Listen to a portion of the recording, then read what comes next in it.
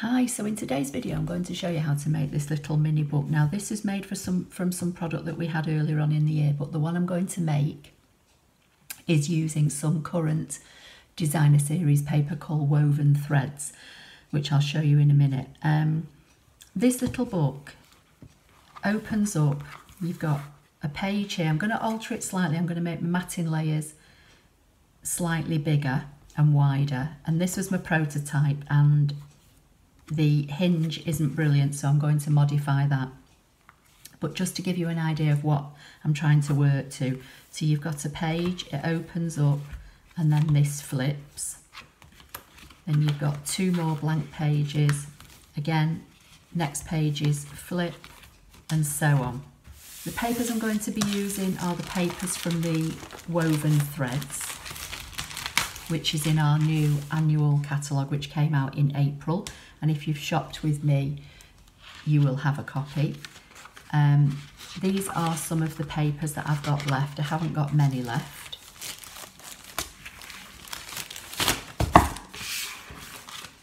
Now this all came about because I've received some stamping storage recently and it all came in boxes and the boxes are not glued top and bottom so when you open them up this is folded flat how it looks there's one seam where it's glued. So if you look inside to find the seam and then you prise this seam open, this is what you will be left with. From this packaging, you can make two of these books. Each one of these panels is six inches high. This one and this one are six inches wide. This one and this one are five inches wide. The covers to make this book are six by four and a half. So you've instantly got your height and you just need to cut each one of these panels to four and a half wide. You will have a section here where you can cut the spines. The spines are six inches by an inch. Excuse me. So you'll be able to get two spines. So from the whole of this packaging, you'll have the elements to make two albums. Obviously, if you've not got this packaging, just use anything you've got. Our designer series paper comes with a piece of card in the back. You could cut that up. If you've got any chipboard, anything like that, you can cut that up. Once you've cut your packaging up, you're going to have two pieces. Now, obviously, I've already used one part from that box to make this. The other part that you're left with will have the little notched, thumb notched area. But don't worry about that because this is going to get covered in card and by the time you get your pages in, that little bit you'll not, you'll not even know is not there. So you'll need two pieces six by four and one piece six by one. That's going to create your structure. And then to cover that in, you need two pieces of card that are seven and a half by eight and a half. And then to make your spine, you need a piece that is six and three quarters by five and three quarters. On the eight and a half length side, you're going to stick a piece of double-sided tape.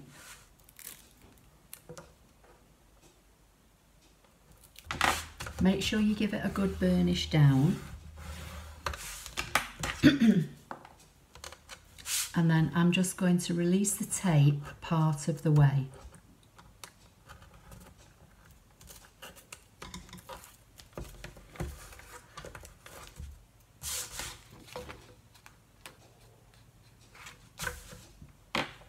I'm using my scoreboard because I know it's got straight edges. So I'm going to line this piece of card up along the seven and a half inch edge. Excuse me. I'm going to take this piece and I'm going to butt it up to the edge of the adhesive and making sure it's lined up, pushed up here and press it down. So that should now be perfectly square.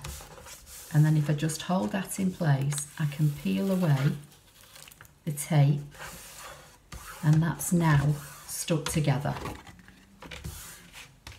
I'm now going to bring in my pieces of card. This inch piece I'm going to sit in the middle here and I'm just going to leave roughly the same amount of gap at the top as there is at the bottom and then the next two pieces I'm going to bring in to line up. Now you want, got a spare piece of board here, you want to place a piece of the board, whatever board you're using, in between your two sections and you want that width and a little bit more otherwise your book won't bend properly. So the first thing I'm going to do is glue this piece down. I'm using Tombow for this but you can use whatever you like, tear and tape, you know, a, a good strong double-sided tape. So I'm just going to position this in here.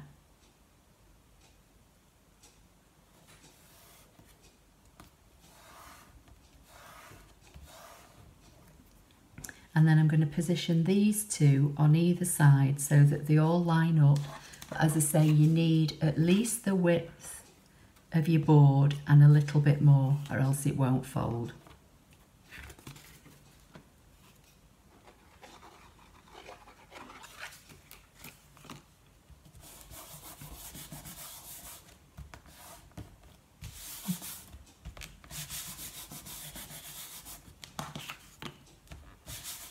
Right, so while that's drying, I'm going to do the spine and then I'll show you how to put this all together.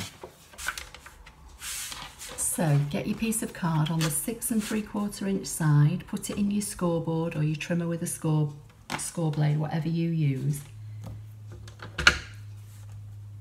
And you're going to score this at one inch, one and a half, two, two and a quarter, two and three quarters, three and one quarter, three and a half, four, four and a half, four and three quarters and five and one quarter and five and three quarters. So I'm going to fold on all of the score lines. I'm just doing them by hand for now and then I'll get the bone folder on them in a few minutes when I've explained how to put this together. So I'm not sure how well you're going to see this, but basically you've got two half inch score lines, or two half inch sections and a quarter inch, then another two half inch and a quarter and so on. You're going to put some adhesive on one section of the half inch so this is a pair, so you'll put adhesive on one section. This is another pair, you'll put adhesive on another. I'm going to do it with tear and tape.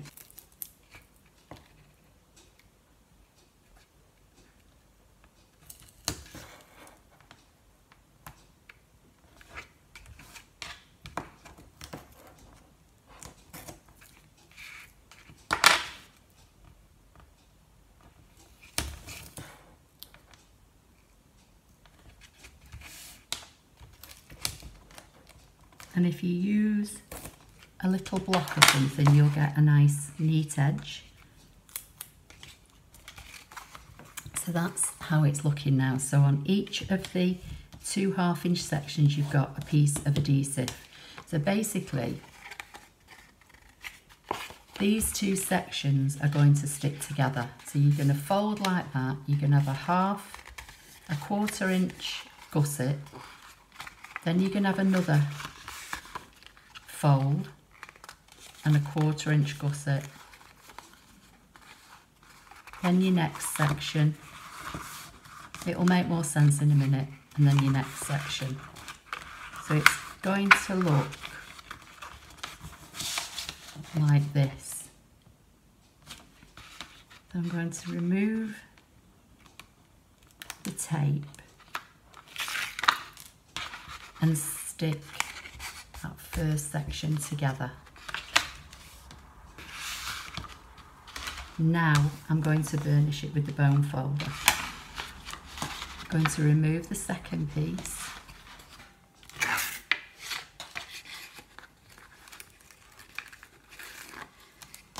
and fold those two together. and again, just crease and work your way along and then push those two together.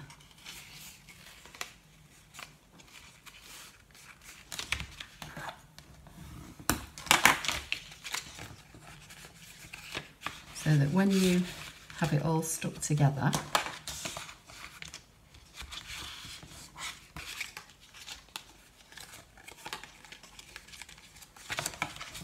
you have this and this is going to be the spine for the album that's going to hold your pages. So now I'm going to bring this back in and using my bone folder I'm just going to score all the way around just roughly. I just want to help the card to start bending around the album. So I'm going to use the bone folder, bring this over, and to do the same on the opposite end, just bring it up with my hands, fold it over, make sure your edges are lining up, then you know that your album's square. And then do the same on this. Bring it up. Give it a little encouragement with your bone folder.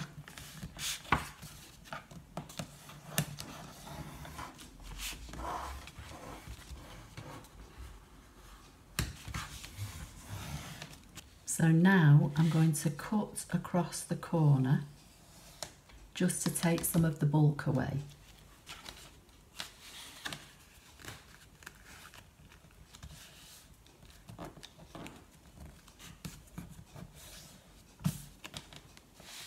If you bring a corner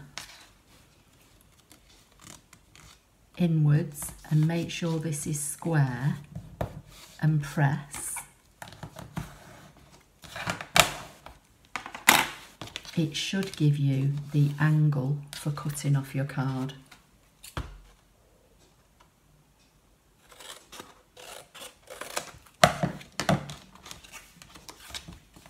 So that when they fold in they should match up or use the piece you've cut off as a guide. Whichever works really.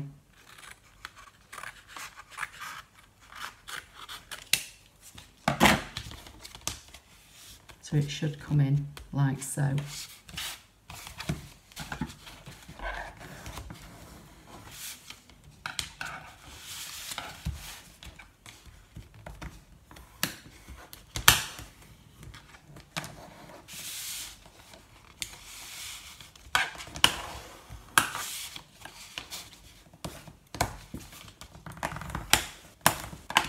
my corners there are pretty much all lined up. On here I've got a little bit of a gap. So what I'm going to do there is I'm just going to put a little patch in.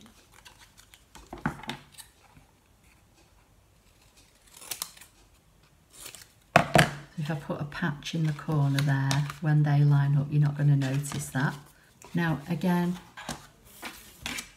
you can use double-sided tape or you can use wet glue, whichever's easiest. I'm going to use Tombow I think. Just for speed and it, it should hold.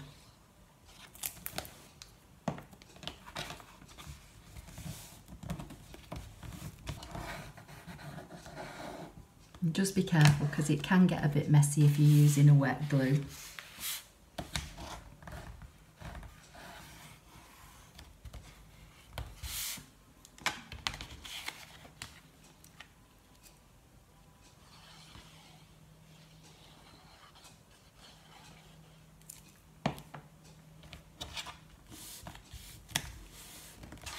Okay, so that's how it's looking now. So what you want to do is get a bone folder, use the biggest end. This is mine off my scoreboard and just press in those areas where the gap is between the board, but be gentle because if your adhesive's still wet, you can rip your card. just do it very lightly or wait till it's fully dry and then just tease up.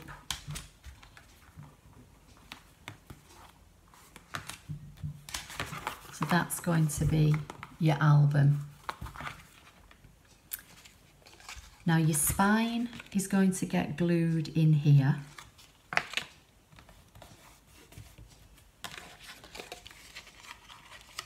And you only want to put, for now, you only want to put adhesive on the three sections that are glued together. And you're going to sit that centrally on that centre spine and centre it top and bottom.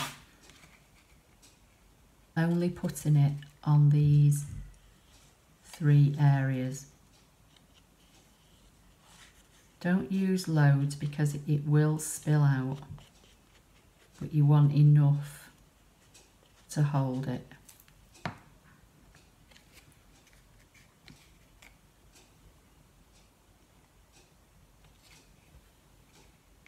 Just make sure it's squared up and then just hold it until it grabs. Obviously these pieces are not stuck down yet, these end bits. So just you know, rub in between the spines with your bone folder or something just to make sure that glue takes. Because obviously you've not glued, you know, these down yet. You're just gluing that centre section. And then what you want to do is again get a bone folder and where we where I marked these areas here where the gap is, you want to press down on there as well on either side.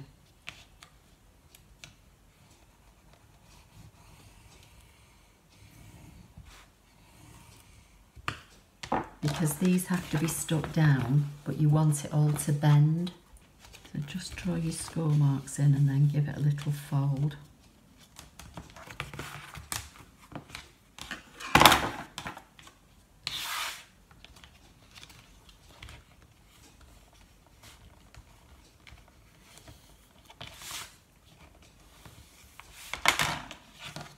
just so that when you fold it up it's going to fold together. So I'm just going to apply some glue on here now.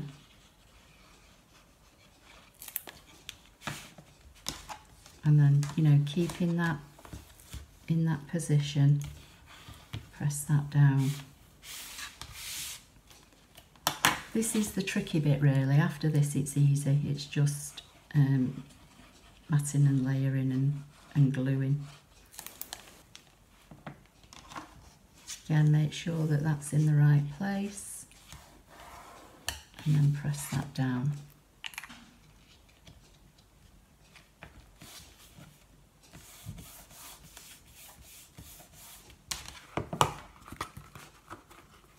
And that's your little album with your spines for your pages. So these two pieces are four and one eighth by five and seven eighths. And these are just going to sit on the inside cover of the album.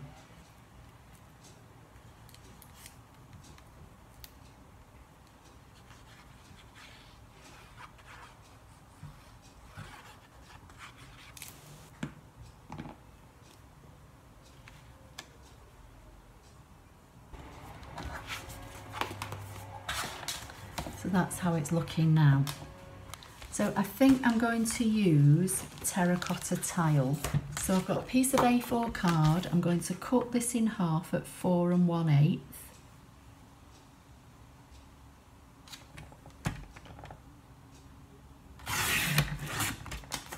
And then I'm going to cut this at five and three quarters.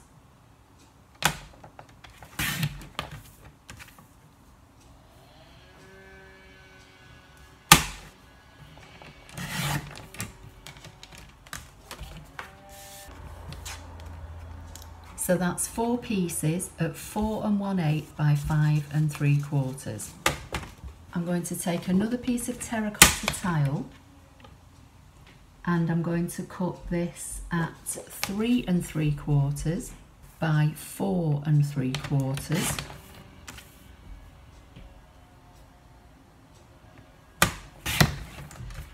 And you need four of those.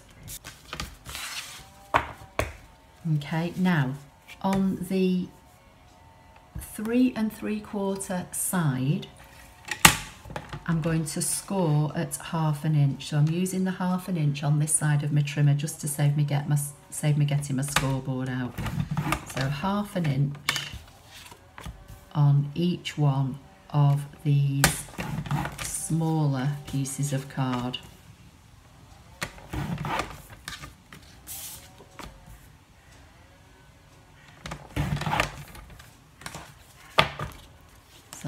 Put those on one side. I'm going to bring in a piece of designer series paper and I'm going to cut this at three and one eighth. And if you don't know what the eighths are, I've done a video on understanding the ruler on my channel. So if you go and have a look at that. So three and one eighths, I'm going to cut that at four and five eighths.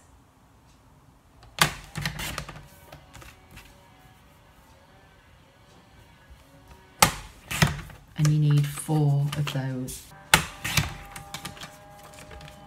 And then for the bigger matting layers, you need a piece that is five and five eighths, so you'll get it out of this one piece of 12 by 12 or if you've got 6 by 6 you can use 6 by 6 and what I might do actually I might cut another piece in a different pattern. So 4 by 5 and 5 eighths and then I can mix and match my patterns. So I might swap out two of those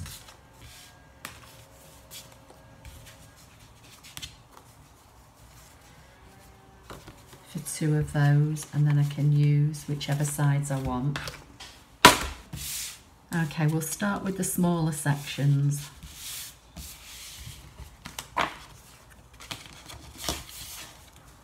Fold and burnish your half inch score line.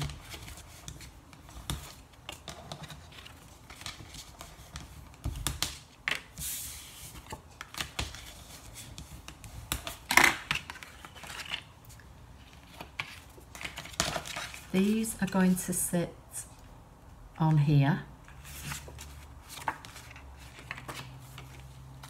So again, I'm going to use wet glue.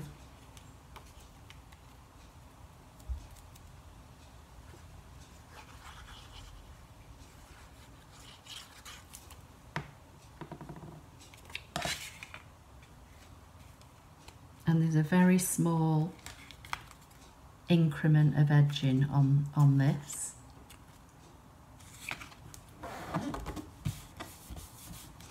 So that's going to sit like that. Now, I'm not going to stick the papers on these yet. These are going to stick on here. So on the half inch section,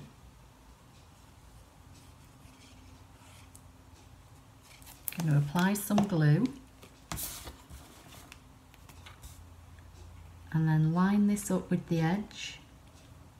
Centralize it as best you can or wherever you want. Doesn't have to be central. You could put one at the top and one at the bottom.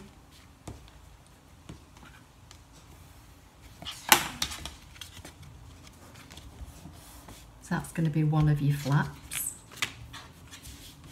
so two go on one side.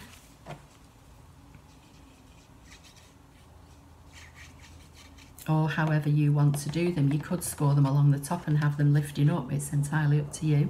I'm going to put these side by side and try and get them pretty much in the same place if I can without getting glue all over my fingers.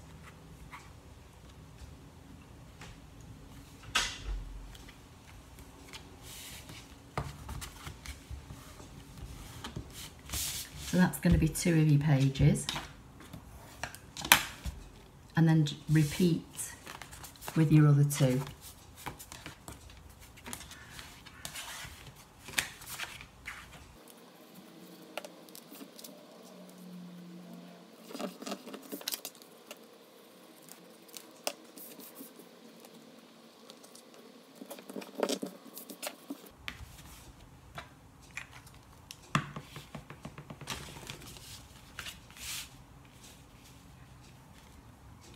Okay, so they're the main four pages now. So now I'm going to do the matting onto these four, which is this. So I think I'll put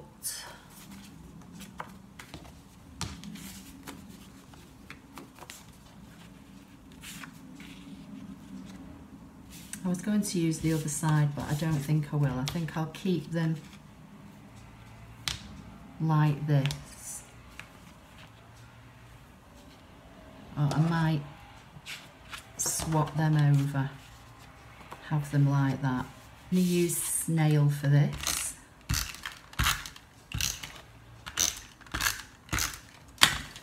And again, there's only a very small increment. So just centralise it as best you can. Okay, so there are my four pages. So the matting layers for inside these small sections now needs to be yeah, the same as the front. So four and five eighths by three and one eighth.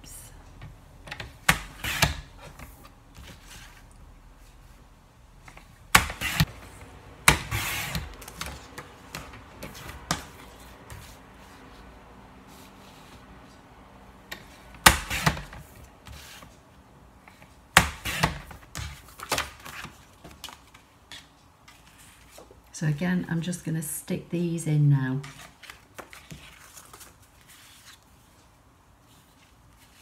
So I'm going to have one pattern on one side and one pattern on the other, I think. Or should I alternate them again? Might alternate them actually. Do them that way. So I'm just going to stick these on there now.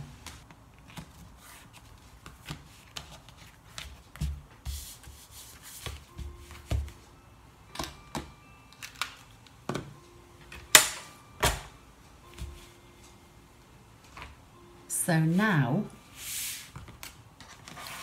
we're ready to start putting in the pages. So you want to get them in the right order. So one with the flap coming from the left, one with the flap coming from the right, one with the flap from the left and one with the flap from the right. I think that's how it's going to be. So you're going to open up your first flap and this is going to sit on there So you're going to put adhesive along this half inch section. It might be easier to use your wet glue. I'm just going to turn it around and I'm going to position it so that the edges line up with the spine.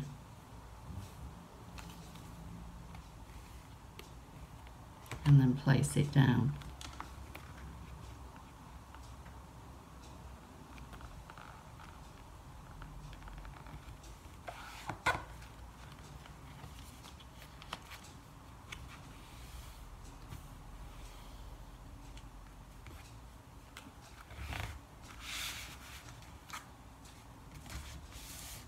then this one is going to go on there. So again, you want some glue on the spine. And again, sometimes it's easier to position. You're not going over the fold of the spine. You want to just butt it up to it because you still want this to be able to bend. Okay, so that's two pages. Then you're going to skip a section and then you're going to do these two and you're going to put those in there. I was going to alternate my pages but I've decided not to. So I've got this pattern together and this pattern together. And then these just need some pattern paper on them now. Five and five and five eighths by four.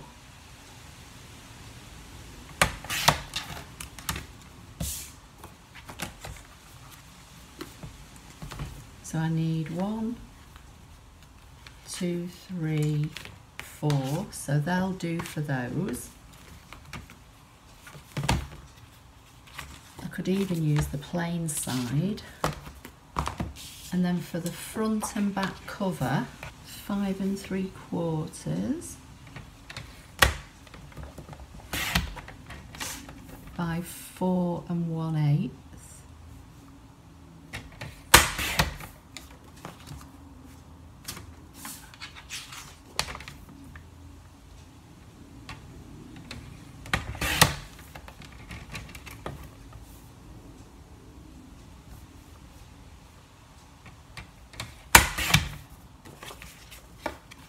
then my front and back covers.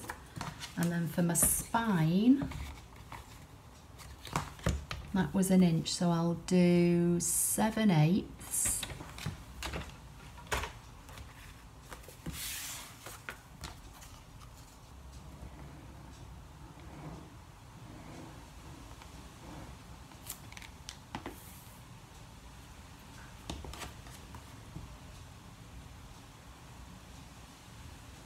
and just by putting this little piece on it'll help to hide the join in the card and it obviously just makes it look a little bit more decorative.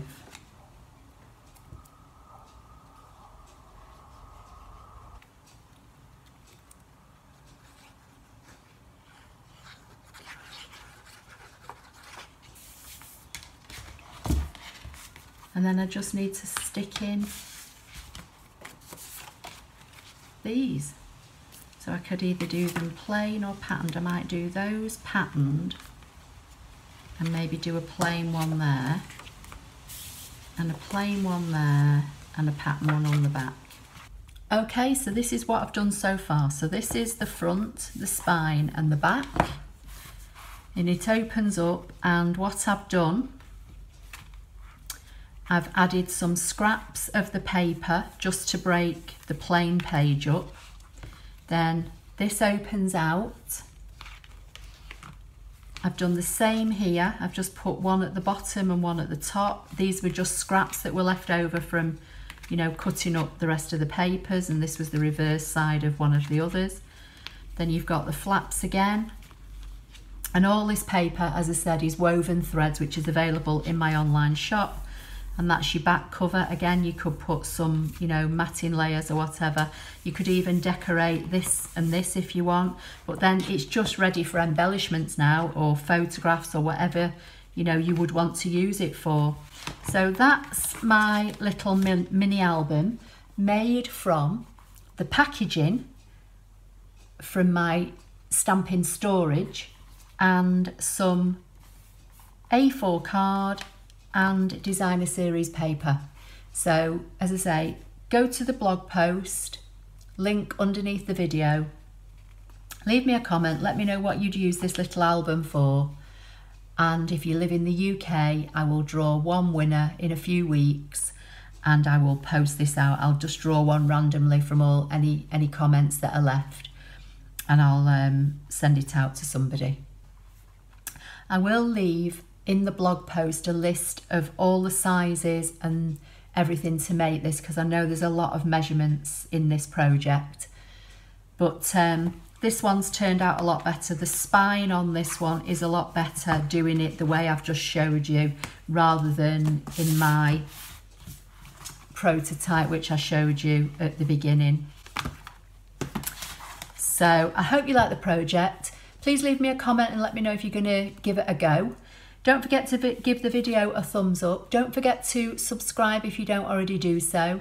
Make sure you've got the bell notification icon turned on and then that way you'll get notified when I upload a video and I'll see you in my next project. Thank you.